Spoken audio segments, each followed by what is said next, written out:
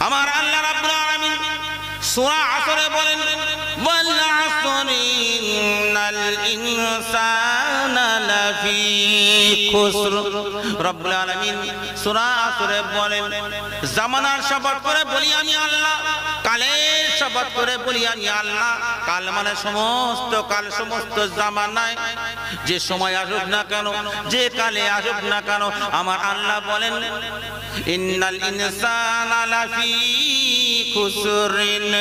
নিশ্চয়ই সমগ্র মনুষ্য জাতি অবশ্যই অবশ্যই লাফি খুসরিন। খাসারার মধ্যে, ধ্বংসের মধ্যে পতিত। আল্লাহ বলেন, যে কোনো কালে হোক না কেন, যে কোনো জামানায় হোক না কেন, যে সম্প্রদায়ের হোক না কেন, যে ক্যাটাগরির মানুষ হোক না কেন, যে রিলিজিয়ানের মানুষ হোক না কেন, সারা পৃথিবীর সমস্ত রকমের মানুষ তারা ধ্বংসের মধ্যে পতিত। তাহলে ধ্বংস আপনারাও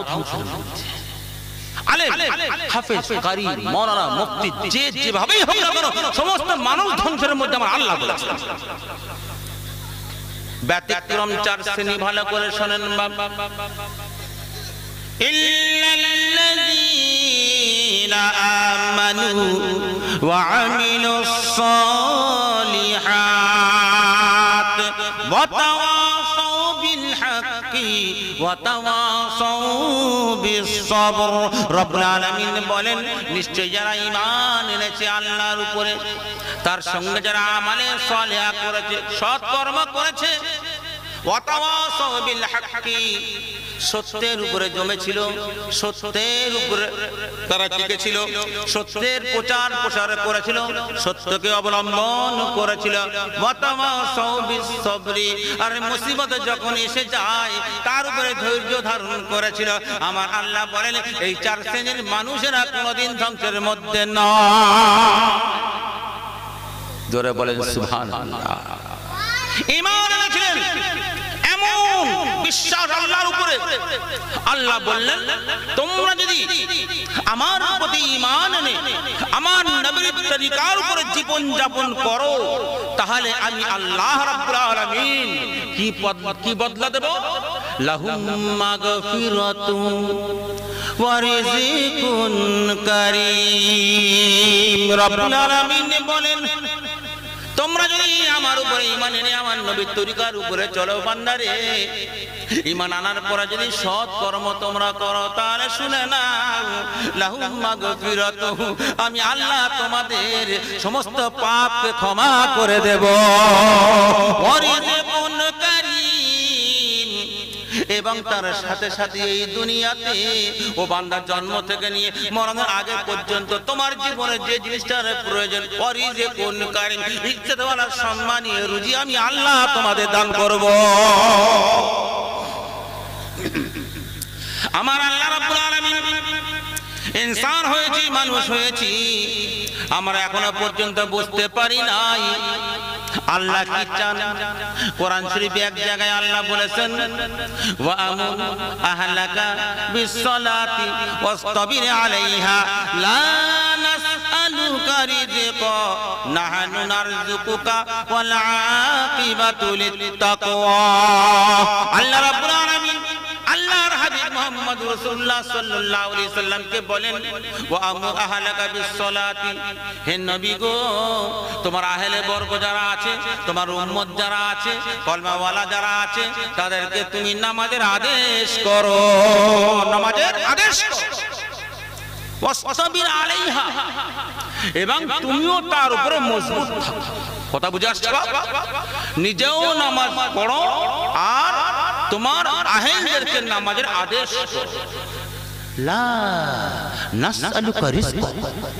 হে নবী আমি তোমাদের থেকে রুজি চাই না রুজি চাই না। নারযুকুকা আমি আল্লাহ তোমাদের রুজি দেব বলেন সুভার আল্লাহ আল্লাহর নবীকে আল্লাহ বলেন তুমি নামাজের আদেশ করো সবাইকে ইমানওয়ালারা যেন নামাজ পড়ে কথা তুমি বলো নিজেও তার উপরে মজবুত থাকো। লা নাসআলুকা রিজকা। আমি তো রুজি চাই না তোমার থেকে। না হানু না রুজি তোমাদেরকে আমি আল্লাহ নিজেই দিই। ওয়াল আকিবাতু এবং শেষ পরিণতি কাদের জন্য? যারা আল্লাহকে ভয় করবে, পরহেজগার যারা হবে, তাদের জন্য আমি আল্লাহ শেষ পরিণতি জান্নাত দেব বলে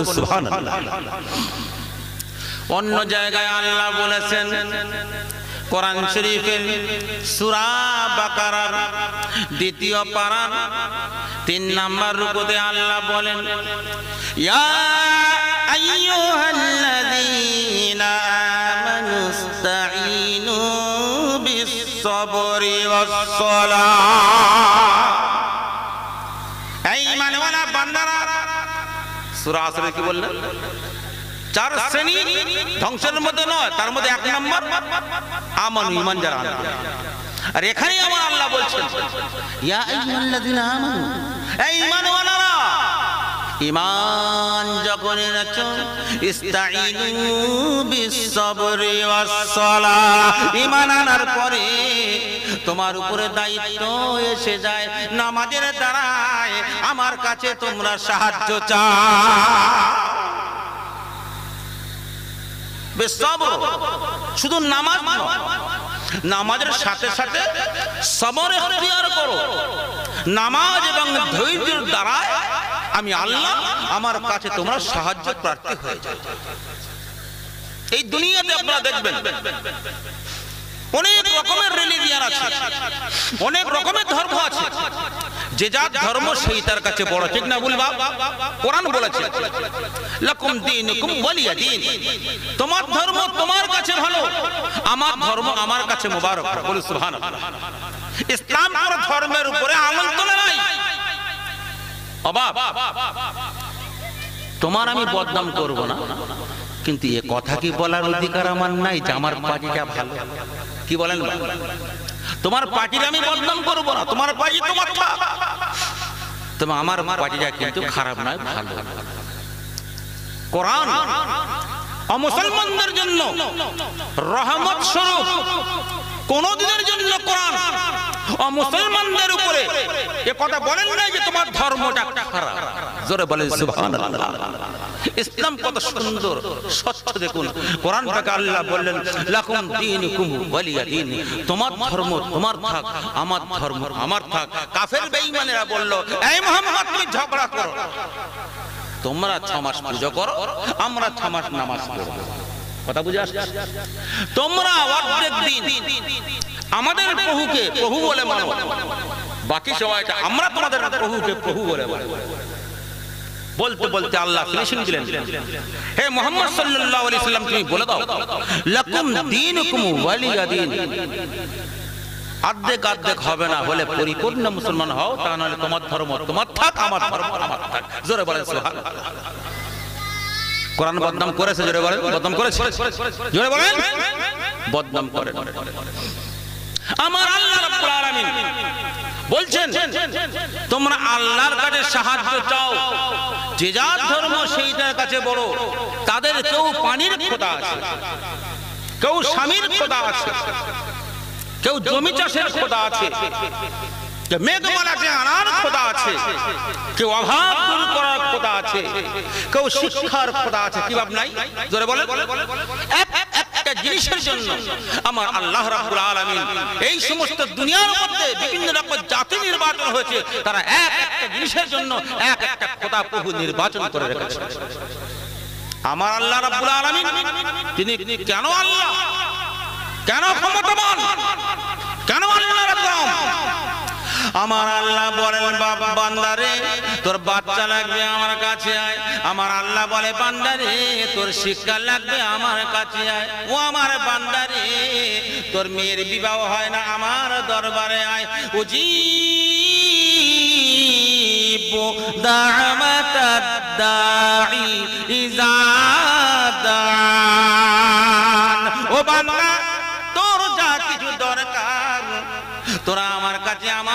ঘরে চলে আয় আল্লাহর ঘরের নাম কি গো?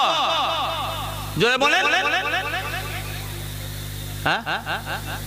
মসজিদ আল্লাহ বলে, বান্দারে, আমার ঘরে চলে আয়। আসার পরে আমার কাছে দুটো হাত তুলে ফরিয়াদে কর। আমি আল্লাহ তোর মনের আশার সঙ্গে সঙ্গে আমি কবুল করে তোর মনের আশা পূরণ করে দেব। আমার আল্লাহ এই দুনিয়াতে বড় বড় আল্লাহর ওলি পাঠিয়েছেন। ওলিরা তারা প্র্যাকটিক্যালে দেখিয়ে দিয়েছেন, বাপ। দিল্লির বুকে জামে মসজিদ আছে, আমরা সবাই জানি। সেই দিল্লির অধিষ্ঠিত বাদশা ছিলেন বাদশা শাহজাহান রহমাতুল্লাহ আল্লাহ তার কবরে নূর ভরে দিগুন আল্লাহ আপনারা যদি দিল্লি গিয়ে থাকেন, দেখবেন জামে মসজিদটা উঁচু। খোদার কসম, জামে মসজিদটা উঁচু আর লাল কেল্লাটা নিচু। কথা বুঝে আসছে আর জামে মসজিদ থেকে লক্ষ্য করবেন লাল কেল্লাটা নিচু। লাল কেল্লা থেকে লক্ষ্য করবেন জামে মসজিদটা উঁচু। বত্রিশ খানা ধাপ আছে। কটা ধাপ? হ্যাঁ। জিজ্ঞাসা করল বাদশাহ শাহজাহান, আপনি দিল্লির এত বড় অধিষ্ঠিত বাদশাহ? আপনি লাল কেল্লাটা নিচু করলেন আর জামে মসজিদটা উঁচু করলেন ব্যাপারটা। উনি বলেন, আমি বড় গোনাগার পাবি বান্দা। রাজত্ব করতে করতে এমন কোন পাপ হয়তো করেছি। যদি আমার শ্রোতারা কেয়ামতের ময়দানের দাবি করে, আল্লাহ ওই বাদশা শাহজাহান আমাদের এমন কাজটা করে নাই, অমুক কাজটা করতে পারে নাই। তারা যদি ফরিয়াদ করে, আমি গোনার বোঝা মাথায় নিয়ে জাহান নামে চলে যাব। তাই আমি মনে মনে করলাম, আর পরিত্রাণ নাই। আল্লাহ কোরআনে বলেছেন, নামাজের দ্বারা ধৈর্যের দ্বারায় তোমরা আল্লাহর কাছে সাহায্য প্রার্থী হয়ে যাও। আমি এই জন্য মসজিদটা উঁচু করে বানালাম। আমার কবর থাকবে মাটির তলায়, আর নামাজি যখন নামাজ পড়বে তাদের পা থাকবে আমার মাথার অনেক উপরে। জোরে বলেন সুবহানাল্লাহ। আল্লাহর ওই বাদশা শাহজাহান তিনি দিল্লি জামে মসজিদে দক্ষিণ দিকে বাবে আব্দুল্লাহ নামক এক নাম্বার যে গেটের উপরে ভারত পাকিস্তান যখন ভাগ হয় ওই দিল্লির বুকে নয় ভারতবর্ষের শিক্ষা মন্ত্রী ছিলেন মাওলানা আবুল কালাম আজাদ রহমতুল্লাহ আল্লাহ তার কবরে নূর ভরে দিগুন আল্লাহ উনি ওই দক্ষিণ দিকের সিঁড়ির উপরে দাঁড়িয়ে বললেন "এই ভারতবাসীও তোমরা কেউ যেও না যেও না। ভারতবর্ষ ছেড়ে পাকিস্তানে তোমরা যেও না যেও না। এই ভারতবর্ষের বুকে ইংরেজকে সরাবার জন্য আমার বাপ দাদা চোদ্দ পুরুষরা আমাদের বুকের তাজা রক্ত দিয়ে দিয়েছে। বাপের রক্তকে ছেড়ে তোমরা কেউ অপমান করে পাকিস্তানে যেও না। সেই দক্ষিণ দিকে শাহজাহান বসে আছেন। হঠাৎ একটা ফকির এসে বলছে, আমার কিছু ভিক্ষা দেবে গো? আমি গরিব, অসহায় ফকির। বলে বাদশাহ শাহজাহান তো এখন নাই। উনি জুমা মসজিদে নামাজ পড়তে গেছেন। তুমি একটু অপেক্ষা করো। উনি একটু পরে আসবেন। তারপরে ভিক্ষা। ফকির বলল, আমি দাঁড়িয়ে থাকব। একটু ঘুরে ঘুরে দেখি চতুর্দিকে। ফকির ভিক্ষা না নিয়ে বাচ্চা নামাজ পড়তে গেছে। ও মসজিদের চতুর্দিকে ঘোরা শুরু করেছে, দেখছে। দেখি এখান কি, ওখান কি মানে পাথরটা কেমন, হাউসটা কেমন, দেখছে। দেখতে দেখতে হঠাৎ লক্ষ্য করেন জামে মসজিদের দক্ষিণ কোণে একটা বুড়ো মানুষ দুটো হাত তুলে ঝরঝর করে কাঁদছে আর চোখের পানি দাঁড়িয়ে টপ টপ করে তালু তালু করছে উনি লক্ষ্য করলেন, আরে এ তো মনে হয় বাদশাহ শাহজাহানের মতন দেখতে। দেখি লোকটাকে উনি পেছন থেকে গেলেন, গিয়ে লক্ষ্য করে দেখছেন, আরে কিন্তু বাদশাহ শাহজাহান। আরে আমি তো এই বাদশার কাছে ভিক্ষা নিতে এসেছিলাম, কিন্তু এ তো আর একজনের কাছে ভিক্ষা চাইছে। এ কি কল হলো? আমি তো বাদশাহ শাহজাহানের কাছে ভিক্ষা নিতে আসলাম। কিন্তু যার কাছে ভিক্ষা নিতে আসলাম সে তো আর একজনের কাছে ভিক্ষা চাইছে। উনি সর্বনাশ। ফকিররা তো এক হাত পেতে ভিক্ষা চায়। এ তো দেখছি দু হাত পেতে ভিক্ষা চাইছে। আরে এ আমার কি ভিক্ষা দেবে?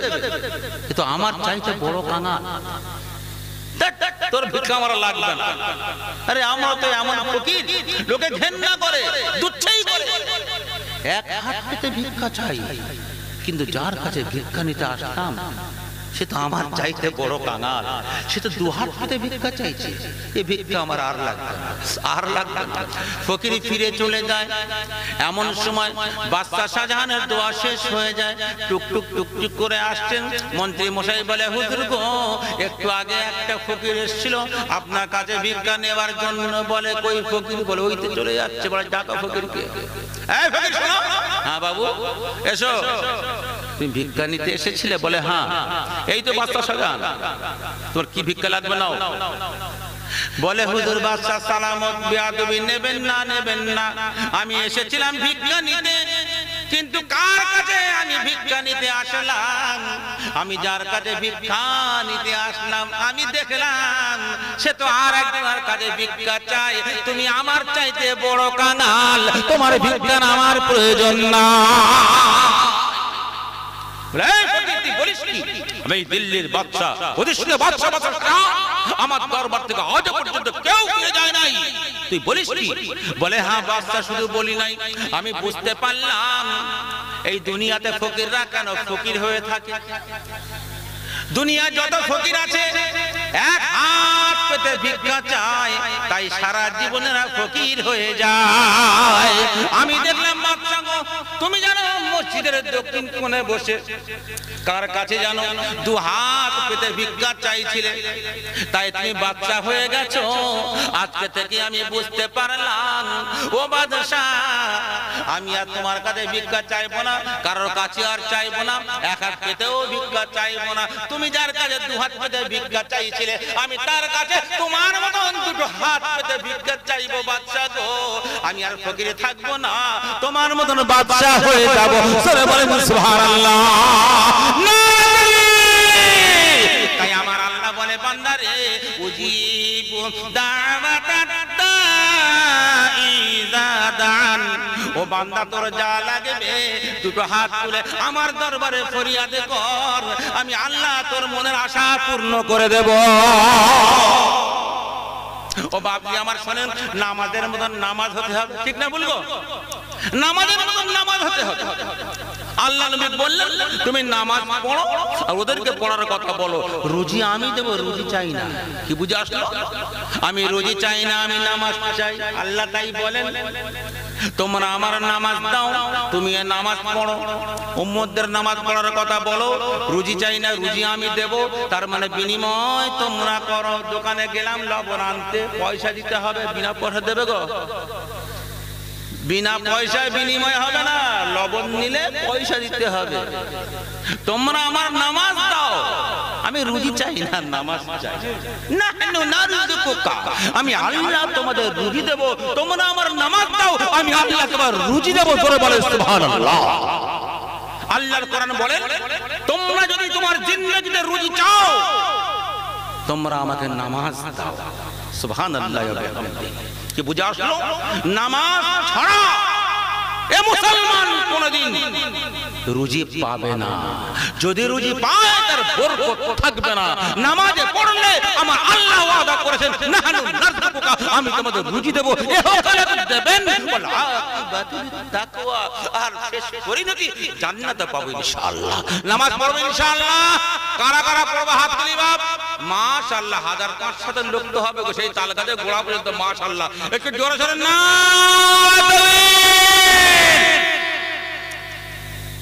আল্লাহ রাব্বুল আলামিন ওই কোরআন শরীফের দ্বিতীয় পারা সূরা বাকারাতে বলেন, তোমরা বান্দারের নামাজের দ্বারাই ধৈর্যের দ্বারাই তোমরা আমার কাছে সাহায্য চাও।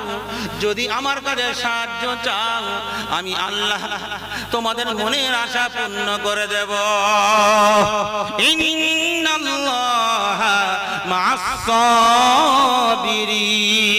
নিশ্চয় আল্লাহ সবরকারীর সঙ্গে আছে। খুব ভালো করে বুঝবেন। এখানে বললেন, নবী, নামাজ পড়ো আর পড়তে বলো, রুজি আমি দেব। আর এখানে কি বলছেন? وَلَنَبْلُوَنَّكُمْ بِشَيْءٍ রব্বুল আলামিন বলেন যারা নামাজের দ্বারাই ধৈর্যের দ্বারাই আমার কাছে সাহায্য চাইবে আমি আল্লাহ রব্বুল আলামিন ওয়ালা নাবলুওয়ান্নাকুম আমি ওই সমস্ত নামাজীদের আমি বিষয়হীন কিছু জিনিসের দ্বারাই পরীক্ষা করব তার মধ্যে কি মিনাল খাও ভয় দেখাবো ওয়াল জু ক্ষুধার্ত কি ব্যাপার হুজুর? ওখানে এক কথা এখানে আর এক কথা ওখানে বললেন নামাজ পড়ো রুজি দেব। আর এখানে আল্লাহ বলেন যারা নামাজের দ্বারাই আমার কাছে চাইবে আমি আল্লাহ তাদের কিছু জিনিসের দ্বারা পরীক্ষা করব তার মধ্যে মিনাল খব ভয় দেখাবো বল ক্ষুধার্ত রাখব মানে রুজি কেটে নেব। হ্যাঁ? অনেক মিনাল আমওয়াল। তোমার গতবারে দশ বস্তা ধান হয়েছিল বিঘাতে, এবারে ছ বস্তা আমি করব। অনেক মালের মধ্যে কমি করে গতবারে ছত্রিশ খানা ডাব হয়েছিল, এবারে হবে বারো খানা ডাব, কেন? আল্লাহ তো বললেন অসমারত ফলের মধ্যেও কমি করে দেবো। হুজুর, ব্যাপারটা কি বলুন তো? হ্যাঁ? ওখানে বলেন নামাজ পড়লে রুজি দেব। আর এখানে বলছেন নামাজ পড়লে রুজির কমি করব। ঠিক কি না কনফিউজ হয়ে গেল। আমি বুঝতে পারছি না। নামাজ পড়লে যদি রুজি হয়, এখানে আল্লাহ বলছেন নামাজ পড়লে রুজির কমি করব। উদার্ত রাখব ব্যাপারটাকে একটু বুঝিয়ে দেয় বাবা আল্লাহ কি ভুল বলেছে? নামাজ পড়লে রুজি দেবো, ঠিক। নামাজ পড়লে ভুকায় রাখব, ওটাও ঠিক। কোন কথাটা মান আল্লাহ ঠিক বলেছেন। আমার বুঝতে ভুল হয়ে গেছে। কেমন জানেন? একটা লোক খুব ভালো করে ফলো করুন। একটা লোক খুব খুব পাকা পাকা কথা বলে। বয়স চুরানব্বই বছর। কত বছর? চুরানব্বই বছর বয়স। সেই লোকটা বুড়ো হয়ে গেছে। হঠাৎ একটা বিয়ে পাস ছেলে এসে বলছে বাবজি সালাম আলাইকুম। বাবজি আপনি ভালো ভালো কথা বলেন, পাকা পাকা কথা বলেন আপনার নাম করে খুব। তা আপনি তো কদিন যাবেন।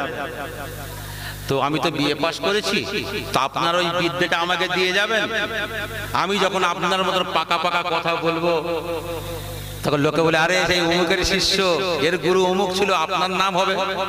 কবরে গিয়েও আপনি খুব খুশি হবেন, আর আমার দাম বেড়ে যাবে। ও, ঠিক আছে বাবা, কালকে থেকে আসবে। ও বেটা কি করেছে জানেন? বিয়ে তো। আগামী কালকে একটা ডায়েরি আর একটা পেন নিয়ে বুড়োর কাছে এসে বসেছে। বুড়োর একটু অভ্যাস ছিল, তামাক খাওয়া। কলকে তামাক দিতে আপনারা জানেন?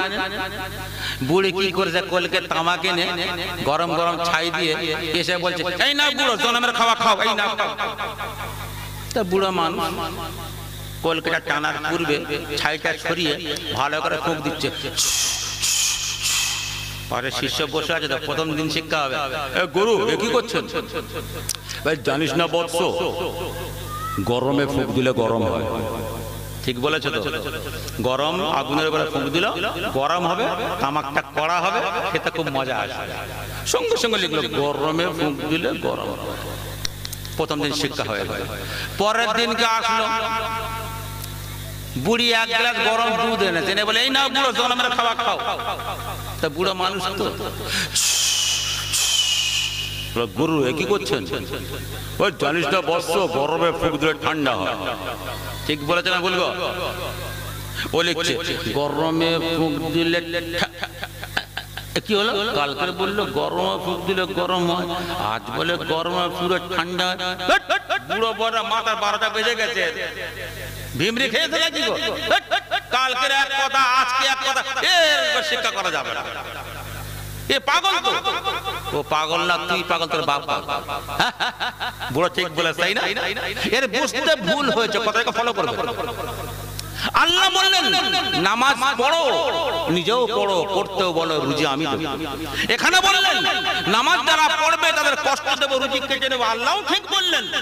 ও বেটা যেমন ভুল বুঝেছিল, আমি আর আপনি তেমন ভুল বুঝেছি। এখনও ক্লিয়ার হয়নি। মনে করুন, একটা লোক একটা হোটেলে বসে কাবাব টিকিয়া খাচ্ছে, আর কাঁচা লঙ্কা কড়মড় করে চিবুচ্ছে। পাশে ব্যক্তি একটা যিনি পাশে বসে দেখছে এ খাচ্ছে কাঁচা লঙ্কা, কাবাব টিকিয়া খাচ্ছে, আর চোখ ঝরঝর করে পানি এত কান্না তবুও লঙ্কা খাচ্ছে? পাগল? হ্যাঁ? ফের কাঁচা লঙ্কা খাচ্ছে করে পানি আবার কার কাছে পাগলের পাগল তুই পাগল। ও কাঁচা লঙ্কা চিবায়। চোখ দিয়ে টপ টপ করে পানি গড়িয়ে যায়। কাবাব টিকিয়াও খায়। ওদিকে ওর কষ্ট হয় ঠিক না বলে বলেন। তবুও কাবাব খায়, আবার কাঁচা লঙ্কা খায়। ওই কাবাবের মজা এত পেয়ে গেছে বাপ। কাবাবের হালাওয়াত, মিঠাস এত পেয়ে গেছে। যার কারণে ওই লঙ্কার ঝালকে আর ঝাল বলে মনে হয় না।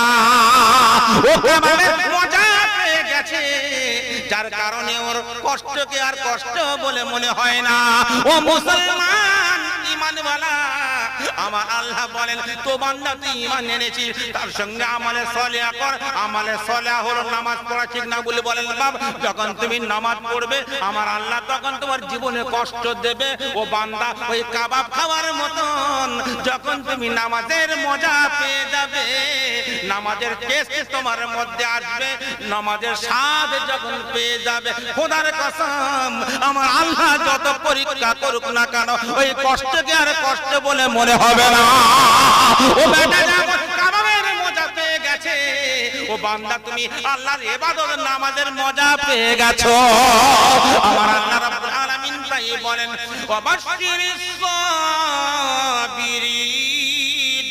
আমি কষ্ট দেব, তার মুসিবত দেব।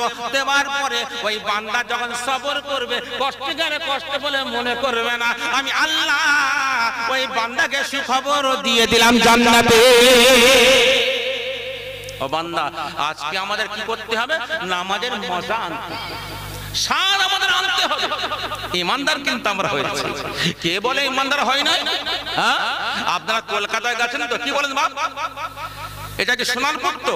হ্যাঁ সোনারপুর মাশাল্লাহ এই সোনারপুর মাশাল্লাহ কলকাতা কত? একশো কত? পঞ্চাশ না? পিওর কলকাতার মানুষ আপনারা মাশাল্লাহ এই কলকাতা ধর্মতলায় দেখবেন, এই গড়িয়া থেকে জয়ন্ত থেকে বাস যায় লাল লাল রঙের বাস।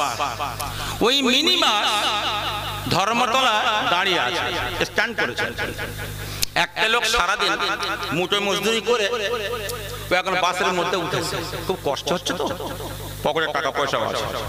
গায়ের জামাগুলো খুলেছে। খুলে বাসের সিটে রেখে আর চিৎপাত কেউ নেই তো ফাঁকা জায়গা আরামে ঘুমোচ্ছে। আধ ঘণ্টা পরে কন্ডাক্টর আসে "এই, ওঠ, ওঠ, তোর বাবার গাড়ি ওঠ, ওঠ, ওঠ।" হ্যাঁ বাবু কি হয়েছে? এই কেন? বাবু বড্ড ঘুম লেগেছিল। এই তোর পকেটে টাকা তো। এক্ষুনি চিন্তাই হয়ে যাবে। কেন বাবু চিন্তাই হবে? চিন্তাই হবে না? বলে না। কেন হবে না? বলে কেন? বাসের বাইরে লেখা আছে আমি দেখলাম মাই ইন্ডিয়া ইজ গ্রেট আমার দেশ মহান তাই না? কতক্ষণ না আমি দেখলাম বাসের গায়ে লেখা আছে মাই ইন্ডিয়া ইজ গ্রেট আমার দেশ মহান। মহান দেশে চুরি হবে কেন? বাসের বাইরে লেখা আছে। তুই যে সিটে শুয়ে আছিস তো, ওর ওপরে কি লেখা আছে? পকেট মার হইতে সাবধান। তাই না বাসের বাইরে আছে আমার দেশ মহান। আর উপরে পকেট সত্যি তো? তার মানে কি? বাইরে ভেতরে। হ্যাঁ? Complete Musliman, not others religion, perfect Musliman. আলহামদুলিল্লাহ। উপর বাবা মুসলমান। বাসের দরজা খোলো জামার বোতামগুলো খুলুন ভেতরে পাক্কা বেঈমান। হ্যাঁ? মুসলমান এ মুসলমানের কোনো দাম নাই। আদম আলাইহিস সালাতু ওয়াস সালাম। যখন দুনিয়াতে আসলেন জঙ্গলের যত হরিণ সবাই গেলেন আদম আলাইহিস সালাতু সালামকে দেখার জন্য দিদার করার জন্য আসসালামু আলাইকুম ইয়া নবী আল্লাহ।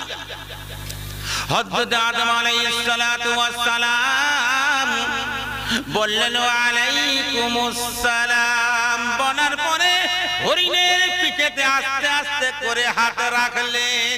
জোরে বলেন সুবহানাল্লাহ। যাদের পিঠেতে আদম নবী হাতটা রেখেছিলেন, সেই সমস্ত হরিণের পেকেতে আমার আল্লাহ মৃগ নাভি দিয়েছেন। জোরে বলেন, সুবহানাল্লাহ। জঙ্গলে হরিণগুলো চড়ে, সকলের মধ্যে মৃগ নাভি পাওয়া যায় না। কিছু কিছু হরিণের মধ্যে নাভি পাওয়া যায়। এত সুন্দর সুগন্ধ। এই দুনিয়ার সব চাইতে দামি সুগন্ধ বলে সুবহানাল্লাহ। জঙ্গলের হরিণ না বলল তোরা এই জঙ্গলে আমরাও এই জঙ্গলে থাকি। তোদের মধ্যে পাওয়া যায়, আমাদের মধ্যে কেন নাই? বলে, কেন নাই জানিস? কেন? বলে, আদম নবী যখন দুনিয়াতে আসে, আমরা সাক্ষাৎ করার জন্য গিয়েছি নবী দিদার নবীকে সচক্ষে দেখব। আমার নবী, আদম আলা নবী তানাকে যখন সালাম করলাম, আদম আলাইহিস সালাম আমাদের থেকে হাত চাপড়েছিল। হ্যাঁ? আল্লাহ তোদের ভালো করুক। জোরে বলেন, সুবহানাল্লাহ। তাই? তাহলে আমরাও যাব। ও বেটারা কি করে যায় পরের দিনকে পুরো জঙ্গলে হরিণা দল বেঁধে আদম নবীর কাছে গেছে। আলাইকুম। ওয়ালাইকুম আসসালাম তা আদম নবী হাত চাপড়ে কিছুদিন পরে বলছি হ্যাঁ রে ওই মৃগনাবি তো হলো না? কথা বুঝে আসছে মৃগনাবি তো হলো না? তোদের হাত চাপড়ালে হলো আমাদের হাত চাপড়ালে হলো না ব্যাপারটা কি? ওই হরিণগুলো বলে শোনো আমাদের নিয়ত ছিল নবীর সঙ্গে সাক্ষাৎ করব। আর তোমাদের নিয়ত ছিল, তোমাদের পেটে ভালো ভালো দামি জিনিস হবে। নিয়তের গড়বড় ছিল, যার কারণে আমার আল্লাহ তোমাদের মৃগ নাবি দেয় না। যা আমার আল্লাহ তিনি এত ক্ষমতাবান, এত পাওয়ারফুল তিনি বলছেন নামাজের মতন তোমরা নামাজ পড়ো। নামাজের স্বাদ আমার আপনার মধ্যে আনতে হবে। আলী রাজি আল্লাহ তালা আনুর পায়েতে তীর লাগল। চলো তীর বার করব। বলেন না এখন উনি যখন নামাজ দাঁড়িয়ে থাকবেন সেই সময় তীরটা বার করা হবে। সাহাবারা চতুর্দিকে বসে গেছেন। আলী রাজি আল্লাহ তালা আনু সালাম ফেরাবার পরে বলছেন কি বাবা তোমার এখানে বসে আছো কেন? বলে, আপনি কিছু বুঝতে পারেন বলে, কি? এই দেখেন কি আপনার পায়ে তীর তীর লেগে গিয়েছিল, তীর ঢুকে গিয়েছিল। তীরটা বার করতে এসেছি। বলো তীর বার করবে? বলে হ্যাঁ। বলে, সে তো তীর বার করা হয়ে গেছে কই? বলে আলী রাদিয়াল্লাহু তাআলা আনহু পিছন দিকে ফিরে দেখেন ওই পায়ে যে তীরটা ফুটেছিল বাপ ওই তীরটা বার হয়ে গেছে নামাজে অবস্থায়। হযরত আলী রাদিয়াল্লাহু তাআলা আনহুর কোনো খেয়াল নাই জোরে বলেন সুবহানাল্লাহ। ও দুনিয়ার মানুষ আমার নামাজের মজা আনতে হবে? নামাজের মিঠাস আমার মধ্যে আনতে হবে। যদি তোমরা পাক্কা নামাজি হয়ে যাও, খোদার কসম, আমার আল্লাহ ওই মানুষটার দুনিয়াতে যতদিন থাকবে তার রুজির অভাব হবে না। আল্লাহ নবী হাদিস পাকের মধ্যে বলেন আউয়ালু মা ইউহাসাবু আবদি ইয়াউমাল কিয়ামাতি মিন আমালিস সালাহ। মানুষ যখন মরে যাবে কবরে যখন চলে যাবে আহওয়ালে বরদার যখন হয়ে যাবে, কিয়ামতের ময়দান যখন চালু হয়ে যাবে আল্লাহর নবী বলেন মা ইউহাসাবু বিল আবদি। সর্বপ্রথম যেটা এই বান্দার থেকে জিজ্ঞাসা করবেন আমার আল্লাহ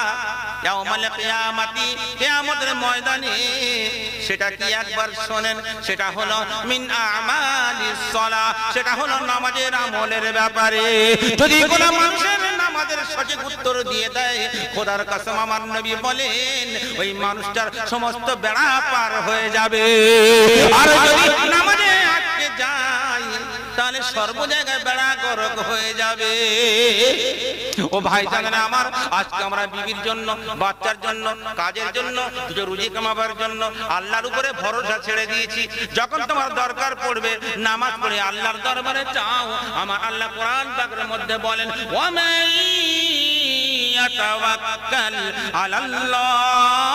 ফাহুয়া হাসবুহু। যে বান্দা আল্লাহর উপরে ভরসা করবে, আমার আল্লাহ তার জন্য যথেষ্ট হয়ে যায়। আল্লাহ মানুষ, একদিন তার একটা কচি বাচ্চাকে নিয়ে সামনে থেকে হেঁটে হেঁটে যাচ্ছেন। যেতে যেতে যেতে যেতে। রাদিয়াল্লাহু আনহু বলেন, ও ভাই, দাঁড়াও। তোমার কোলে যে বাচ্চাটা আছে, এই বাচ্চাকে যেমন কাগের বাচ্চার সঙ্গে কাগের মিল দেখা যায়, তেমন তোমার বাচ্চার সঙ্গে তোমার মিলখানা দেখা যায়। কে বলছেন? বলছেন। বলে, হুজুর, এই বাচ্চাটা আমার সঙ্গে মিল আছে সত্যি? বলে হ্যাঁ। বলে হুজুর এর পিছনে একটা ঘটনা আছে তাই কি ঘটনা একটু আমাকে শোনাও না ওই আল্লাহওয়ালা মানুষ বলে কি একবার শোনেন বলে হুজুর আমি বিয়ে করলাম বিয়ে করার পরে আমার বিবির পেটে আট মাসের সন্তান এলো আমি এক জায়গায় কাজ কাম করতাম ফৌজ ছিলেন হঠাৎ খবর এসে গেল, তোমার চলে যেতে হবে বাড়ি ছেড়ে। আমি বিবিকে বললাম, বিবি রে, আমি সফরে চলে যাব। তুমি ভালো করে থেকো। বিবি বলছে, ও স্বামী, তুমি এত নিষ্ঠুর কেন? আমার আট মাসের সন্তান আমার পেটে। তুমি যদি চলে যাও, আমার বাচ্চার কে প্রত্যেক বিবি বলে বলে কিনা বলে না? বলে। বলে বিবি গো চিন্তা করো। আমি কোরআন শরীফ পড়েছি। কোরআন শরীফে আমার আল্লাহ বলেছেন যে ব্যক্তি ভরসা করবে আল্লাহ আমার আল্লাহ তার জন্য যথেষ্ট জোরে বলে সুবহানাল্লাহ। ও বিবি চিন্তা করো না করো না। ওই বাচ্চার জন্য তুমি চিন্তা করো। আমি থাকি আর না থাকি কোনো সমস্যা হবে না হবে না। ও বিবি রে, শোনো, এই বাচ্চাকে আমি আল্লাহর হেফাজতে দিয়ে দিলাম। বাচ্চাকে আমি আল্লাহর হেফাজতে দিলাম। এই বাচ্চাকে আমার আল্লাহ হেফাজত ওয়া আল্লাহওয়ালা মানুষ দেখুন, যদি আমাদের কোনো বাচ্চা হতো, পাশের কোনো ভাবিকে বলতাম, তুমি দেখো। চাচিকে বলতাম, তুমি একটু দেখো। আল্লাহর উপরে কত তাওয়াক্কুল দেখুন অটল দেখুন ইমানের উপরে। উনি সফরে চলে গেলেন। চলে যাওয়ার দু তিন বছর পরে বাড়িতে ফিরলেন। উনি মনে মনে ভেবেছিলেন আমার বাচ্চা নিশ্চয়ই বড় হয়েছে। জামা কাপড় এনেছেন খাবার দাবার নিয়ে এসছেন। ব্যাগ ভরে দুটো হাতে করে সোজা বাড়িতে উৎফুল্ল মন বাড়িতে আসছেন। আস্তে আস্তে আস্তে আস্তে হঠাৎ বাড়ির সামনে থমকে দাঁড়িয়ে গেলেন এটাই তো আমার ঘর। কিতাবের মধ্যে লেখা আছে এইভাবে আলাল বাবে দরওয়াজার উপরে তালা লাগানো আছে। কি ব্যাপার? আমার বিবিতে এই বাড়িতেই ছিল। এটাই তো আমার বাড়ি। কিন্তু দরজার তালা লাগানো কেন? এ ভাই, শোন। পাশর চাচা তো ভাই ছিল। বলে, ভাই, শোনো। এখানে আমার বিবি ছিল। কোথায় গেল গো? দরজা তালা লাগানো কেন? বলে, ভাই যান কিছু মনে করবেন না। আপনি যখন চলে যান, তার দু চার দিন পরে আপনার বিবি ইন্তেকাল হয়ে যায়। ওই বিবি আর ঘরে নাই। ওই বিবি কবর জায়গায় চলে গেছে। গোরের মধ্যে চলে আছে সঙ্গে সঙ্গে বলেন, ইন্না ওয়া ইন্না ইলাইহি রাজিউন। সমস্ত জিনিসপত্র হাত থেকে ছেড়ে গেল। জামা কাপড়, ব্যাগগুলো সব পড়ে গেল। বলে, ভাই রে ভাই, আমার বিবির চা কোথায়? একবার দেখা। ভাই হাতটা ধরে নিয়ে গোরস্থানের মধ্যে নিয়ে যায়। নিয়ে গিয়ে বলে, ওই যে কোণে বাঁশ বাগান দেখছ? ওই কোণের যে পাথর লাগানো আছে, ওই কবরটা আমার ভাবি জানের কবর, তার মানে তোমার বিবির কবর। বিবির কবরের কাছে গেল, যাওয়ার পরে কবরের সামনে দাঁড়িয়ে দাঁড়িয়ে কোরআন শরীফ পড়লেন, নবীর হাদিস পড়লেন, আল্লাহর দরবার দোয়া করলেন, চোখের পানিতে বুকটা ভাসিয়ে দিয়ে বিবির জন্য দোয়া করল, আল্লাহ, আমার বিবিকে তুমি জান্নাতে মা ফাতিমার সঙ্গে জায়গা দাও। দোয়া করলেন কান্না কাজি করার পরে যখন দোয়া শেষ হয়ে যায়, ওই কবরটা ছেড়ে আবার পিছন দিকে বার হয়ে আসছে। আস্তে আস্তে আস্তে আস্তে গোরস্থানের বাইরে একটা পা, ভিতরে একটা পা। হঠাৎ মনে করল, আমি তো চলে যাব। জন্মের মতন আমার বিবির কবরটা আর একবার ফিরে তাকাই পিছনে ফিরে তাকিয়ে দেখেন যেটা দেখল ওটা আমার বিবির কবর যার উপরে জিয়ারাত করল, যখন ফিরে তাকালো, তখন দেখছে সেই কবর থেকে দাও দাও করে আগুন বাইরে বার হয়। ব্যাপার? বিবির ভাই ওইটা বিবির কবর ওখান থেকে আগুন বার ব্যাপারটা বলে ভাই, যেদিন থেকে তোমার বিবি মারা গেছে, সেদিন থেকে রেগুলার একবার করে ওই আগুনটা আমরা গ্রামের মানুষ সবাই দেখতে পাই ওরে সর্বনাশে কি ব্যাপার? আমার বিবি জাহান্নামী হতে পারে না। আমার বিবি নরকে যেতে পারে না। আমার বিবির কবরে আজাব হতে পারে না পারে না। আবার ঘুরে ওই বিবির কবরের কাছে যায়। চাচা তো ভাই বলে, বাবা, আমি তো যাব না। তোর বউ, তুই যাবি, যা। তবে আমি যাব। ও বাপ, মরণের ভয়, কবরের ভয় মানুষের হবে কিনা বাপ? হবে। বলে, তোর যেতে হবে না। আমি জানি আমার বিবি আল্লাহ আমি জানি আমার বিবি নেককার। আমার বিবির কবরে আজাব হতে পারে না। কবরের কাছে পৌঁছে গেল। যাওয়ার পরে দেখে কবরের মাঝখান থেকে, যেখান থেকে আগুনটা বার হচ্ছিল, সেই জায়গায় একটা সুরঙ্গ হয়ে গেল। কি ব্যাপার? আগুনটা নিভে গেল। উনি কবরের উপর থেকে মুখটা বাড়িয়ে দেখছেন কবরের ভিতরে যেন আলো দেখা যায়। উনি ভাবছে জাহান নামের আগুন সর্বনাশ ভালো করে উঁকি মেরে দেখে। ওটা কোন কবরের আজাব নয় জাহান নামের আগুন নয়। ওই কবরের মধ্যে দেখতে পায়, ওই বিবি চিত করে শুয়েছিল, বিবি আর চিত হয়ে শুয়ে নাই। ওই বিবি কবরে হেলান দিয়ে বসে আছে, আর একটা আড়াই বছরের কুজি বাচ্চা ওই কবরের মধ্যে দৌড়া দৌড়ি দৌড়া দৌড়ি করে। কবরের মধ্যে এমন নূরের ঝলক হয়েছে বাবা এমন জান্নাতের নাজারা দেখা যায়। জান্নাতের নূরা তো চমকায়, বাচ্চা যত এদিক থেকে ওদিকে যায়, ওদিক থেকে এদিকে আসে। ততবার কবরের উপরে জান্নাতের চমকটা দেখা যায় বলে সুবহানাল্লাহ। উনি মনে মনে চিন্তা করেন এটা তো আমার সেই বাচ্চা নয় যে বাচ্চাটাকে আমি বিবির পেটে যখন থাকে, আমি আল্লাহ তোর হাওয়ালায় দিয়ে গিয়েছিলাম। এটা তো সেই বাচ্চা নয়। সঙ্গে সঙ্গে গাইবে খবর আসে ইয়া আবদাল্লাহ, ইসমা কালামি আমার কথাটা শোন।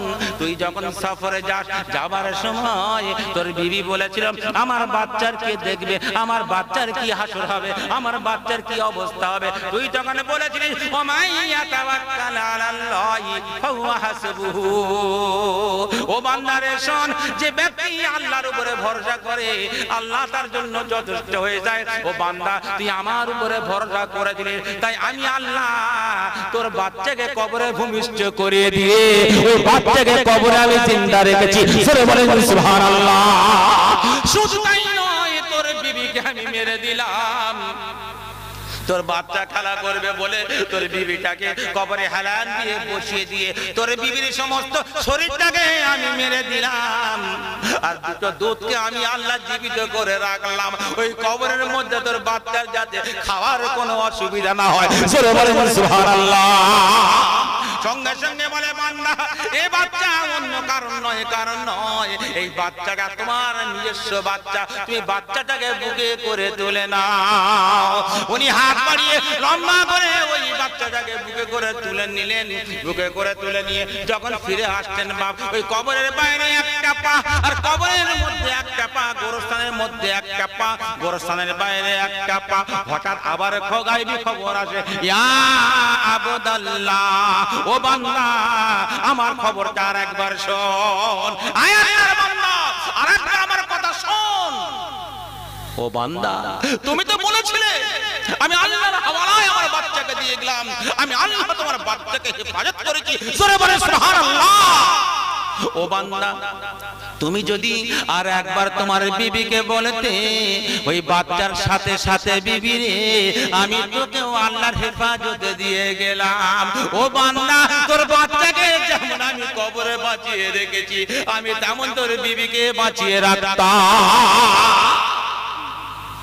ওই আল্লাহওয়ালা মানুষ ওমরে ফারুক রাদিয়াল্লাহু তাআলা কাছে গিয়ে ওই ঘটনা যখন বলেন ইবনে ওমর রাদিয়াল্লাহু তাআলা করে পানি আসে আর বলে, ও আল্লাহর বান্দা, আমার আল্লাহ ওই জন্য বলেছেন, ইন্নাল্লাহ আলা কুল্লি শাইইন আমার আল্লাহ আলামিন সমস্ত জিনিসের উপরে ক্ষমতা রাখেন। জোরে বলেন, সুবহানাল্লাহ। ও মুসলমান রাখি আল্লাহর উপরে যদি আমরা ভরসা করে জীবন যাপন করি, খোদার কাসম, আমার আপনার জিন্দগিতে কোন রকমের সমস্যা আসবে না। যত মুসিবত আসুক না কেন, আমার আল্লাহ ওটাকে সলভ করে দেবে। একটু মহাপতের সঙ্গে দরিদ্র পড়ি। আল্লাহুম্মা সাল্লি আলা সাইয়্যিদিনা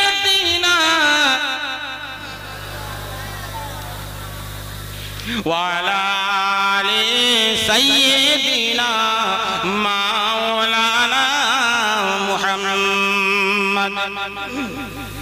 রোজ হাসরে আমার আল্লাহ রাব্বুল আলামিন আমাদেরকে প্রশ্ন করবে সেই প্রশ্নের উত্তর যদি আমরা দিতে না পারি পরিত্রাণ পাবো না। আমার আল্লাহ পরিষ্কার করে শুনিয়ে বলছেন সুম্মা লাতুসআলুন্না ইয়াউমাইযিন আনিন ফের তোমরা জিজ্ঞাসিত হবে। তোমাদেরকে জিজ্ঞাসা করা হবে। আমার দেওয়া নিয়ামতের ব্যাপারে। হাত দিয়েছিলাম। পা, অঙ্গ, প্রত্যঙ্গ, ব্রেন, বুদ্ধি সব দিয়েছিলাম। তুমি সেটা কোথায় ব্যয় করেছ বলো? আল্লাহ তাই শায়ের বলেন রোজ হাসরে আল্লাহ আমার